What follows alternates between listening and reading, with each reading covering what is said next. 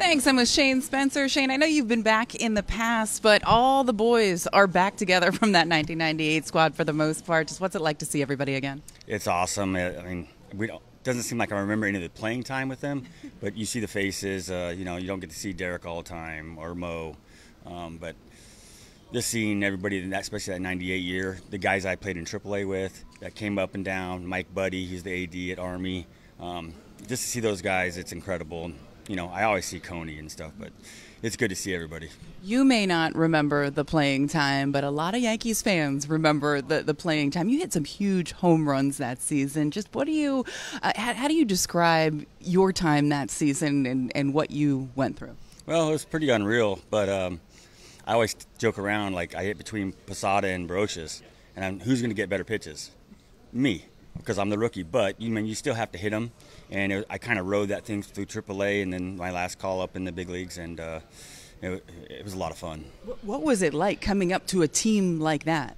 Well, I mean, I had been there since '90. With, with me and Mariano got drafted that year, and then so it's uh, I knew everybody, so I was pretty comfortable when I came up, so it wasn't that big of a deal. Can you describe some of the big moments for yourself? Well, hitting a home run in the, my first at bat in the playoffs was pretty cool. But my favorite of all that year was actually I, we were playing in San Diego for the World Series, and Tony Gwynn lined out to me, and it was only the second out, and he was my idol, and I just wanted to put it in my po- back pocket, but I had to throw it back in, and that was like in San Diego against my Padres. It was what, and I peaked right there. I'm like, oh shoot. and you know, anything else from that season that really stands out to you?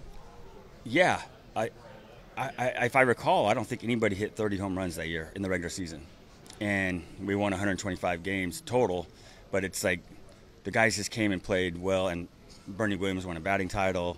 Everybody, Brosius had an incredible year. Jeter's always awesome. Mo, of course, but everybody had a crazy, awesome year, and just it was awesome. How do you get that mindset, that buy-in from an entire team where there's just a ton of unselfishness? I'm not sure because I played at other places and it wasn't like that. In, in, other teams that I played with, with the Yankees too, was not like that. Um, but that group right there for about three or four years was uh, pretty special. Shane, thanks for the time. All right, thank you.